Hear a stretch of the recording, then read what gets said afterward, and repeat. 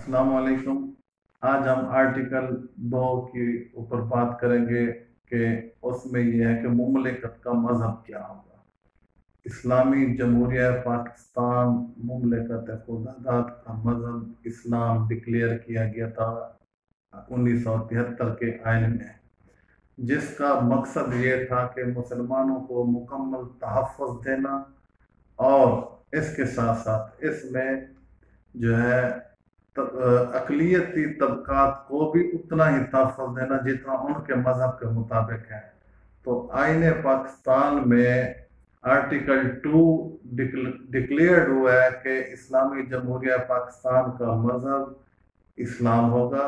जो कुरान व सुन्नत की रोशनी में होगा, जिसमें सिर्फ़ और सिर्फ़ अल्लाह पाक के बताए हुए असूल जो कुरान मजीद में है और हजूर पाक सल्लल्लाहु वसल्लम के बताए हुए तरीका सुन्नत के मुताबिक इस मुल्क के खुदादाद में हो नाफिज हो